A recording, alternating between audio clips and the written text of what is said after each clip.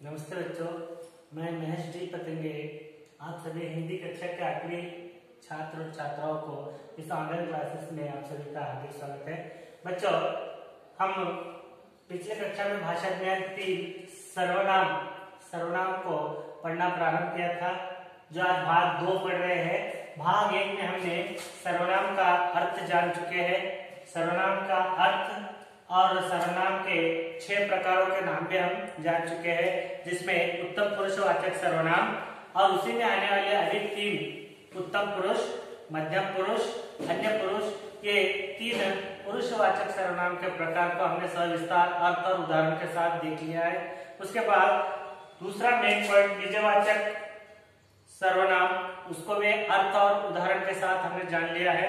तीसरा, निश्चयवाचक सर्वनाम। उसका भी अर्थ और प्रकार के उदाहरण के साथ हमने सविस्तार जानकारी ले चुके हैं। भाग एक में हमने इसको पढ़ लिया है। अब भाग दो में हम आपका चौथा जो अनिश्चयवाचक सर्वनाम है, इसका अर्थ और इसके उदाहरण जानेंगे। तो पेज नंबर आप छब्बीस पर अपने टेक्स्ट बुक निकालिए बच्चों, वहाँ पर ये सब दिया है। तो मैं चौथा उदाहरण देने जा रहा हूँ। अनिश्चयवाचक सर्वनाम। अनिश्चयवाचक सर्वनाम और निश्चयवाचक सर्वनाम दोनों एक दूसरे से मिलते जुलते हैं। निश्चयवाचक ने हमने कॉन्फिडेंस होने की ये चीज़ है। अनिश्चयवाचक यानी वहाँ पर हमें डाउट हो। तो उसका विरुद्ध निश्चय और अनिश्चयवाचक एक दूसरे के विरुद्ध बन जाते हैं। अगर आपको निश्चयवाचक समझ में आया है तो अनिश्चयवाचक सर्वनाम भी आसानी से समझ में आएगा। तो हमने फोर्थ प्रकार देख रहे सर्वनाम का अनिश्चयवाचक सर्वनाम। जिसका अर्थ है, जो सर्वनाम किसी निश्चित व्यक्ति या वस्तु का बोध नहीं कराता है कराता है तो निश्चयवाचक हो जाता है। यहाँ पर नहीं कराता है नहीं कराता है, उसे अनिश्चयवाचक सर्वनाम कहते हैं। समझ में आया बच्चों? अनिश्चयवाचक सर्वनाम किसे कहते हैं? जो सर्वनाम किसी निश्चित व्यक्ति या वस्तु का बोध बोध का मतलब माहिती माहिती नहीं कराता है, नहीं कराता है, उसे अनिश्चयवाचक सर्वनाम कहते हैं। अब उदाहरण में हम देखेंगे यहाँ पर। पेड़ के नीचे कोई खड़ा है। अब वहाँ पर एक पेड़ दिख रहा है। पेड़ के नीचे कोई खड़ा है? स्पष्ट दिखाई नहीं दे रहा क्या लड़का खड़ा है क्या लड़की खड़ी है क्या बच्चा खड़ा है क्या कोई बुज़ुर्ग खड़ा है। लेकिन कोई खड़ा है, लेकिन डाउट है तो डाउट जहाँ आए, कोई तो कौन सा सर्वनाम बन जाएगा? अनिश्चयवाचक सर्वनाम बन जाएगा। अगर हम कहते हैं कि उस पेड़ के नीचे एक लड़का बैठा है, वो निश्चय हो गया। कंफर्म हो गया कि वो लड़का है। लेकिन हम क्या कह रहे हैं अगर कंफर्म होगा तो पेड़ के नीचे लड़का खड़ा है होकर हम बोल सकते हैं लेकिन हमें कंफर्म नहीं है अनिश्चय है निश्चय होने वाला है। डाउट है। तो वहाँ पर कोई यहाँ पर। कोई खड़ा है। तो यहाँ पर कोई का प्रयोग कहाँ पर होता है? अनिश्चयवाचक सर्वनाम में होता है। तीसरा, दूसरा उदाहरण, पिताजी किसी से, पिताजी से किसे बात कर रहे हैं? पिताजी किसी से बात कर रहे हैं। अब हम देख रहे हैं ऐसे कि पिताजी किसी से बात कर रहे हैं। लेकिन वो किससे बात कर रहे हैं? वो व्यक्ति हमको परिचय नहीं है। उससे हमें जान पहचान नहीं है। किसी से बात कर रहे, होगा कोई व्यक्ति। डाउट है यहाँ पर। जहाँ पर भी डाउट आए तो कौन सा होता है? अनिश्चयवाचक। यानी वहाँ पर अगर पिताजी चाचा जी से बात कर रहे हैं तो हमें वो निश्चय है तो वो चाचा जी से बात कर रहे हैं। लेकिन है कोई है, किसी से बात कर रहे हैं, किसी से बात कर रहे हैं तो अनिश्चयवाचक सर्वनाम बन जाएगा। तीसरा उदाहरण, पिताजी कुछ लिख रहे हैं। पिताजी एक पत्र लिख रहे हैं या कुछ लिख रहे हैं? क्या लिख रहे हैं मालूम नहीं है। तो कुछ भी क्या हो जाएगा अनिश्चयवाचक सर्वनाम में आ जाएगा। क्या लिख रहे हैं? पत्र लिख रहे हैं या बुक लिख रहे हैं? क्या लिख रहे हैं? लिख रहे हैं कुछ लिख रहे हैं। हमें उसका कोई जानकारी नहीं कि अनिश्चयवाचक सर्वनाम कहलाएगा। वहाँ पर पता नहीं यह किसका कलम है। पता नहीं किसका कलम है। इसी का भी ये क्या होगा? अनिश्चयवाचक ये ये रमेश का ही कलम है बोले तो निश्चयवाचक हो जाएगा यहाँ पर हम क्या करें? ये कलम किसका है कि पता नहीं। मुझे मालूम नहीं है। तो यहाँ पर ये अनिश्चयवाचक सर्वनाम बन जाएगा। आपको प्रश्न कैसे पूछेगा? पेड़ के नीचे कोई खड़ा है, कौन सा सर्वनाम बनेगा? निजवाचक सर्वनाम पुरुषवाचक सर्वनाम या मध्यम पुरुष? ऐसा पूछने के बाद आपको उत्तर देने पढ़ना है। पर अनिश्चित है। कोई कंफर्म नहीं है। तो वहाँ पर एक अनिश्चयवाचक सर्वनाम बन जाएगा। आगे का हम देखेंगे पांचवा कौन सा प्रकार है, हम आगे देखेंगे।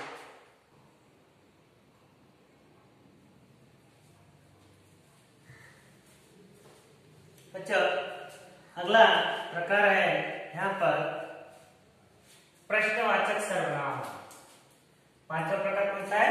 प्रश्नवाचक सर्वनाम। यहाँ पर उसके टाइटल में बता रहा है, प्रश्नवाचक प्रश्न पूछे जाने वाले वाक्यों में जहाँ भी प्रश्न आए उसे हम क्या कहते हैं? प्रश्नवाचक सर्वनाम कहते हैं। अब इसका अर्थ देखिए। जिस सर्वनाम से किसी के बारे में प्रश्न किया जाए, उसे प्रश्नवाचक सर्वनाम कहते हैं। अब हम सुबह से लेकर शाम तक बहुत से प्रश्न पूछते हैं। बहुत से प्रश्न आते हैं क्वेश्चन पैदा होते हैं। तो उस क्वेश्चन को पैदा होने वाले जैसे वाक्य रहते वो कौन से होते हैं? प्रश्नवाचक सर्वनाम कहलाते हैं। जैसे उदाहरण के लिए तुम क्या खाओगे? अब घर में पूछेंगे, आज शाम में आपको क्या खाना है? या कल सुबह क्या खाना है? प्रश्न डाउट प्रश्न क्वेश्चन मार्क जहाँ पर क्वेश्चन आए। तो कौन सा बनेगा? प्रश्नवाचक, जिसमें क्या प्रयोग हो रहा है? क्या खाओगे? कल तुम सब, कल तुम अगर चावल खाओगे तो पूरा हो गया। कोई प्रश्न नहीं रहेगा। लेकिन क्या खाओगे? ये प्रश्न बन जाएगा। तो ये प्रश्नवाचक सर्वनाम कहलाएगा। मेरे साथ कौन चलेगा? चार लोग हैं। चार दोस्त है। तो चारों में से कोई जाने को तैयार है तो कौन जाएगा? पर्टिकुलर नहीं तो उत्तर नहीं मिल रहा उसका। जहाँ उत्तर न मिले, वो क्या बनेगा? प्रश्नवाचक सर्वनाम बन जाएगा। मेरे साथ कौन चलने के लिए तैयार है? ये भी प्रश्नवाचक सर्वनाम कहलाएगा। आपको किसी से मिलना है? यहाँ बहुत से लोग हैं? स्कूल में बहुत से लोग हैं, बहुत से टीचर है। किस टीचर से मिलना है आपको? किससे मिलना है? ये प्रश्न आपको किससे मिलना है? तो उनका नाम बताएँगे तो पर्टिकुलर हो जाएगा। तो ये क्वेश्चन बन जाएगा, ये प्रश्नवाचक कह जाएगा। आपको कहा जाना है? कहा जाना है आपको? एड्रेस मालूम है? बल्कि जाना है, किधर जाना है और कहीं जाना है। तो ये प्रश्न पूछ रहे तो उत्तर नहीं है इसका। जहाँ पर भी आपको उत्तर न मिले क्या बन जाएगा?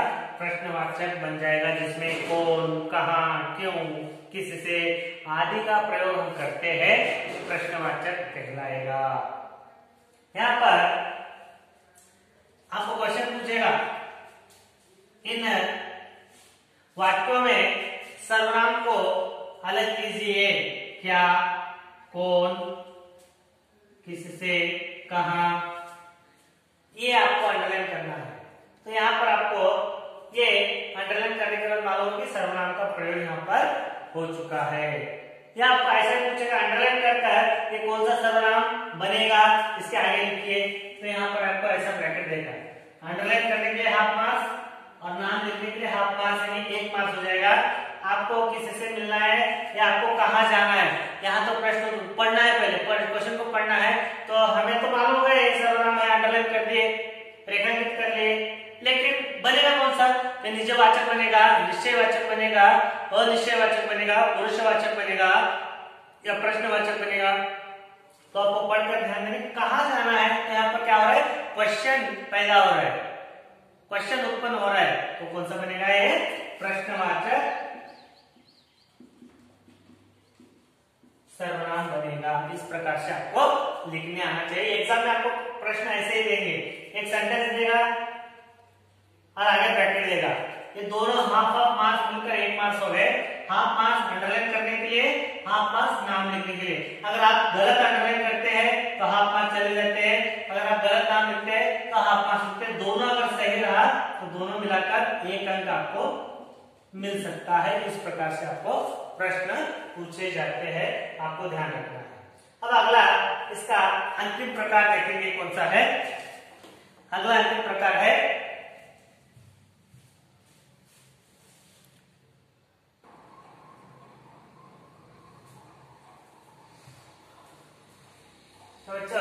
सर्वनाम का यहाँ पर छठा प्रकार अंतिम प्रकार है संबंधवाचक सर्वनाम। संबंधों को बताना, संबंधों को जोड़ना, उसे हम क्या कहते हैं? संबंधवाचक सर्वनाम कहते हैं। अर्थ देखेंगे, वाक्य में आए हुए दो सर्वनाम, वाक्य में आए हुए दो सर्वनाम जो एक दूसरे से संबंध रखते हो, उन्हें संबंधवाचक सर्वनाम कहते हैं। वाक्य में आए हुए दो संबंध, सर्वनाम को वाक्य में जो भी दो सर्वनाम आ रहे हैं एक दूसरे से उसके संबंधों को जोड़ देता है। उसे हम क्या कहते हैं? संबंधवाचक सर्वनाम। मैंने सेब को जो का तो रख दिया।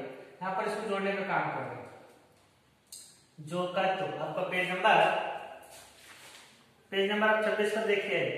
जो सो, जो तो जैसा तैसा जहाँ, तहा आदि जहाँ पर प्रयोग होता है, वो दो शब्दों को जोड़ने का काम करता है, जो दो सर्वनामों को जोड़ने का काम करता है, एक दूसरे से संबंध बनाने का काम करता है, उसे हम संबंधवाचक सर्वनाम कहते हैं। मैंने सेम को जो का तो जैसे का वैसा रख दिया। हाथ नहीं लगाया उसको, जैसे का वैसा रख दिया। या जो का तो रख दिया। जैसी, जैसा करेगा, वैसा भरेगा। आज आप जैसा करोगे, कल वैसा ही भरोगे। अगर आप नीम का पेड़ आज लगाओगे, नीम का पेड़ आज लगाओगे तो नीम का पेड़ ही लगेगा। कल जाकर वो आम का पेड़ तो नहीं बनने वाला। नीम का पेड़ ही लगेगा आपको वहाँ पर। नीम के फली मिलेंगे, आम वहाँ पर नहीं मिलेगा। तो मतलब जैसी करनी वैसी भरनी, वो भी बोल सकते हैं, जैसा करोगे वैसा भरोगे। मैंने जो कहा, सो कर दिया। मैंने जो कहा, सो कर दिया। इस प्रकार से आपको प्रश्न आए। तो यहाँ पर सर्वनाम को पहचानिए बोलकर प्रश्न आएँगे तो तब आपको यहाँ पर अंडरलाइन करने आना चाहिए। जो तो जैसा, वैसा, जो, सो। ऐसे आपको प्रश्नों को पहचानने आना चाहिए। और कौन सा कारक कौन सा सर्वनाम बनेगा बोले तो आपको यहाँ पर ब्रैकेट में लिखने आना चाहिए। तो यहाँ पर है हाफ़ मार्क्स और इसका हाफ़ मार्क्स जो का तो यानी संबंध संबंध वाचक सर्वनाम। जैसा, वैसा या जैसा तैसा भी हो सकता है संबंधवाचक सर्वनाम। जो सो या जो तो ऐसा जो दो उसे हम संबंधवाचक सर्वनाम कह सकते हैं। इस प्रकार से हम सर्वनाम के छह प्रकारों को अब जान लिए हैं। अब हम आगे देखेंगे। कुछ प्रश्न आपको दूँगा मैं। उसमें सर्वनाम कहाँ कहाँ पर है, आपको उसे रेखांकित करना है। तो मैं समझूँगा कि ये पूरा भाषा ज्ञान तीन जो सर्वनाम तो बच्चे, यहाँ पर भाषा ज्ञान तीन, सर्वनाम के हमने सभी प्रकार को और उसके अर्थ और उसके उदाहरण को विस्तार से जान लिए अब मैं कुछ प्रश्न आपको दे रहा हूँ, इसमें से आपको सर्वनामों को छाट कर लिखना है। इस वाक्य में कहाँ कहाँ सर्वनाम है आपको देखना है, ढूंढना है, उसे ढूंढ कर लिखना है। तो यहाँ पर मैंने प्रश्न है, निम्नलिखित। निम्नलिखित का मतलब नीचे दिए हुए प्रश्न ये दस प्रश्न है। इन दस प्रश्नों में से आपको क्या करना है? सर्वनामों को अलग कर कर लिखना है। एक, दो, तीन, चार, पाँच नौ दस प्रश्न दिए गए तो इसमें से सर्वनाम को अलग करके ब्रैकेट में लिखना है। हम अंदर आ सकते हैं, यहाँ पर कहा सर्वनाम है देख लो, अलग कर कर लिखो। यह एक वृक्ष है, वृक्ष का मतलब पेड़। यह एक वृक्ष है, इसमें कहा सर्वनाम है, यहाँ पर लिख दो। अंडरलाइन में करना है और यहाँ पर लिखना भी है। वह गाँव का सबसे बढ़िया मकान है। कहा है देखो, वहाँ पर सर्वनाम कहाँ प्रयोग हो गया है।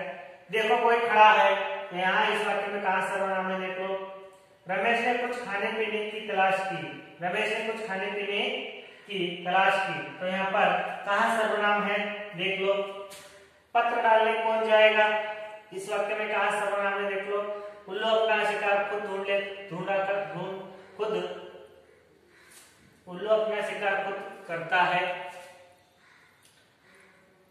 पेड़ पौधे अपना भोजन स्वयं बनाते हैं। जो बच गए थे, वे भी घबराए हुए थे। वो मेरा, वे मेरा साथी, मेरे साथी है। इन वाक्यों में आपको सर्वनाम को ढूंढना है। ढूंढकर आपको अलग अलग करना है।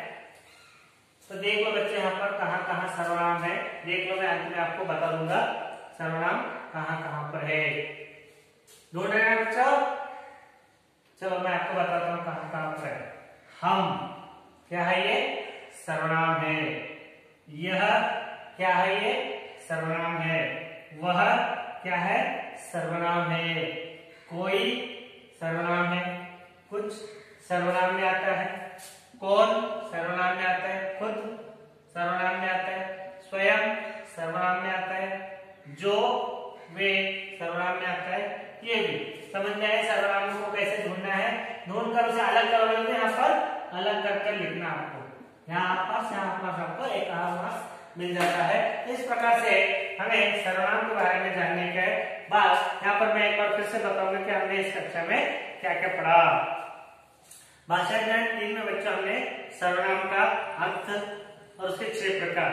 छह प्रकार में कौन से? पुरुषवाचक सर्वनाम पहला बनता है। उसमें और तीन प्रकार आते हैं। उत्तम पुरुष, मध्यम पुरुष, अन्य पुरुष। इसके बाद आता है निजवाचक सर्वनाम। और उसके बाद आता है निश्चयवाचक सर्वनाम, और उसके बाद आता है अनिश्चयवाचक सर्वनाम, और उसके बाद प्रश्नवाचक सर्वनाम, अंत में आता है संबंधवाचक सर्वनाम। और मैंने कुछ प्रश्न लेकर आपको इस पर पूरा समझाने का प्रयत्न किया है। अब हम आगे देखेंगे भाषा ज्ञान चार। भाषा ज्ञान ये क्या है बच्चों? संज्ञा है।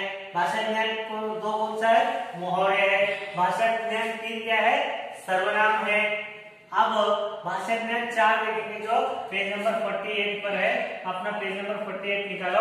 वहाँ पर दिरुक्ति शब्द बोलकर एक छोटा सा ग्रामर है। इसे मैं बोलकर एक कक्षा में समाप्त करता हूँ। पेज नंबर 48 पर आओ बच्चों। पेज नंबर 48 बच्चों संज्ञा हुआ, मोहरे हुए, सर्वनाम हो गया। अब आपका फोर्थ भाषा ज्ञान है द्विरुक्ति जो पेज नंबर 48 पर है पेज नंबर 48 पर छोटा सा ग्रामर भाग है द्विरुक्ति किसे कहते हैं आपको मालूम होना चाहिए द्विरुक्ति शब्द किसे कहते हैं तो यहाँ पर एक छोटा सा परिचय दिया गया है अखबार अखबार का मतलब होता है न्यूज़पेपर अखबार पढ़ते पढ़ते हम चाय पीते हैं इस वाक्य में पढ़ते शब्द की आवृत्ति हुई आवर्ती का मतलब रिपीट पुनरावर्तन हो गया। रिपीट दो बार आ चुका है। अखबार, पढ़ते पढ़ते। हम चाय पीते हैं। इस वाक्य में पढ़ते शब्द की आवर्ती हुई है। दो बार आया है। इसे निरुक्ति कहते हैं। ऐसे अन्य दस शब्द लिखे। वहाँ पर पाँच दिया है आपने। मैं यहाँ पर आपको दस शब्द का होमवर्क दे रहा हूँ। तो यहाँ पर उसका और एक अर्थ यहाँ पर दिया गया है। एक ही अर्थ देने वाले एक जैसे शब्द ही निरुक्ति कहते हैं। पढ़ते पढ़ते। यहाँ पर लिखा है, पढ़ते पढ़ते। तो सेम है। यहाँ पर एक अंदर एक चिन्ह है बच्चों। हिंदी ग्रामर में नौ चिन्ह आते हैं, जिसमें से ग्राम चिन्ह में से एक चिन्ह है। इसे योजक चिन्ह कहा जाता है। जब आपको जब चिन्ह बताऊँगा तो तब आपको समझ में आएगा। ये योजक चिन्ह प्रयोग हुआ है। आप उसे गणित का माइनस चिन्ह नहीं कहते, इसे हिंदी में योजक चिन्ह कहते हैं। जो चिन्ह बताऊँगा, तब आपको मालूम है। चिन्ह कौन कौन से हैं? ये पूर्ण विराम है, ये कोष्टक है, ये इसमें अधिबोधक चिन्ह है, ये और आगे आगे योजक चिन्ह है, ये प्रश्नवाचक चिन्ह है। इसी प्रकार नौ चिन्ह आते हैं, उसी में आने वाले चिन्ह योजक चिन्ह है। जब चिन्ह आपको बताऊँगा मैं तो संपूर्ण नॉलेज दूँगा। यहाँ पर पढ़ते पढ़ते दो बार आया, दो बार, एक ही अर्थ दे रहा है। पढ़ते पढ़ते, दोनों का अर्थ एक ही है अलग अलग नहीं है। अगर हम यहाँ पर आज कल लिखते हैं, इसे में क्या नहीं आज कल अलग है, आज अलग है, कल अलग शब्द है। तो ये विलोम शब्द यानी विपरीत दिशा का शब्द कहलाएगा। तो यहाँ पर ये विपरीत हो जाता है, लेकिन पढ़ते पढ़ते सेम है। पढ़ते पढ़ते दोनों क्या है सेम शब्द दोबारा प्रयोग हुआ है दोबारा उसकी आवृत्ति हो गई है इसे हम क्या कहते हैं द्विरुक्ति या इसे आवृत शब्द में एक ही अर्थ देने वाले एक ऐसे शब्द द्विरुक्ति कहलाते हैं। चलते चलते चलते चलते। तो ऐसे पाठ चैप्टर पढ़ते समय हमको ऐसे बहुत से शब्द मिल जाते हैं, चलते चलते, हँसते हँसते, खेलते खेलते कभी कभी ऐसे बहुत से शब्द मिल जाते हैं। तो आप ऐसे शब्द, आप इसमें पाँच है मैंने यहाँ पर दस बनाए। दस शब्दों को बनाकर बताइएगा। अंत में मैं आपको और दस शब्द भाई बनाकर बताता हूँ। आप अपने नोटबुक में ऐसे दस शब्द बनाइए जल्दी से